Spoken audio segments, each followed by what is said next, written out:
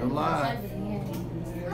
Hey, what's up, guys? It's your girl, Miss ATL Doll with WTNT Radio. We are at the Atlanta Hip Hop Awards. I think this is like the second year, so we are really happy to be out. And of course, I have this beautiful, talented young lady sitting next to me. This is Miss Anaya Love Note, honey. Yes, she just put me in check because I left that note off, and you cannot do that, honey, when you sitting next to a songbird, okay?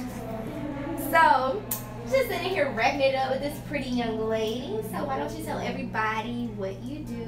Uh, hey guys, my name is Anaya Love Note, and I am an R&B singer slash pop singer. I also dance as well. A little some salsa, salsa. So we were kind of chatting behind the scenes, and you told me that you are uh, a fan of Miss Ariana Grande. Yes, I love Ariana, Ariana Grande. Ooh, let me see. I'm messing up people's names. I love her. I when she first came out, uh, actually on a Nickelodeon TV show, mm-hmm. I was mm-hmm. just so in love with her. But mm-hmm. then when I heard her voice, I was like, oh my gosh. And um, she actually did a cover song, Whitney Houston, which is somebody who inspired me. So it was just like really dope to see somebody that young with that much energy and that much soul and just one small little body just like me. So it's like, I definitely can relate. I love her. Now I gotta tell you.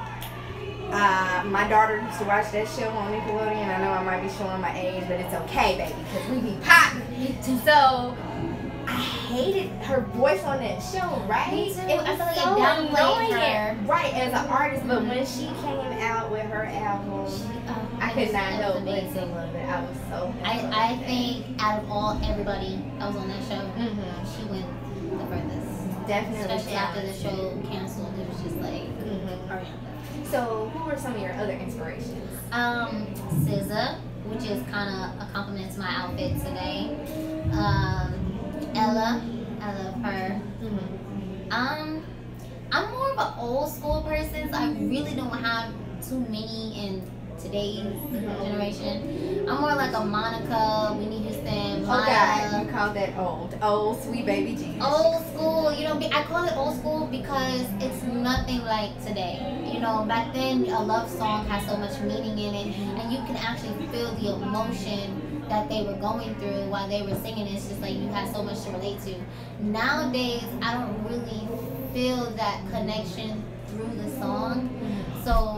You know, I call it old school because you're just not going to get that again. Mm-hmm. So if you could work with anybody, past or present, who would it be? That's alive? Yep, that's alive.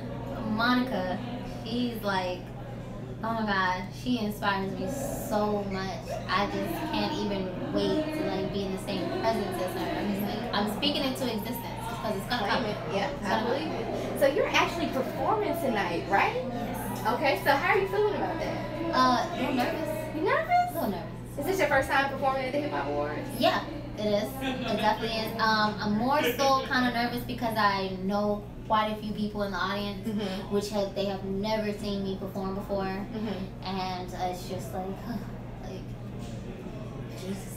Well, I don't know if that imagine them naked trick works, but there's some people out there that you might want to. Okay, you know what? let me let me go I, back to being professional. If I put my glasses on while doing it, mm-hmm. it would work so much better. But it's like, thank goodness it's, it's little dark.